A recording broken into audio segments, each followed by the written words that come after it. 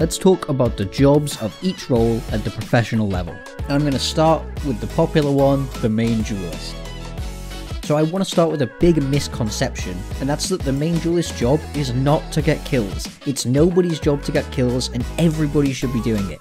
You don't need to be top of the scoreboard to be performing your job well. So let's start with attack, because this is where things are a little simpler. Your number one job is to create space onto the sides when you execute.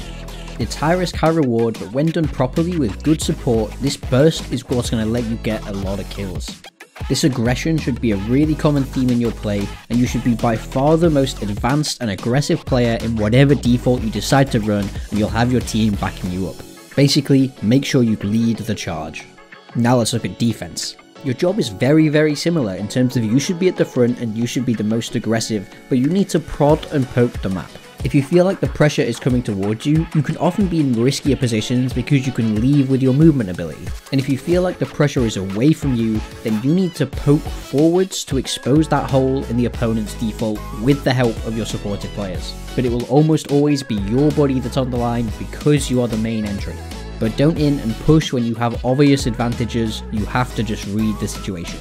I hope you enjoyed the video and don't forget to subscribe for much more Valorant content. See you next time.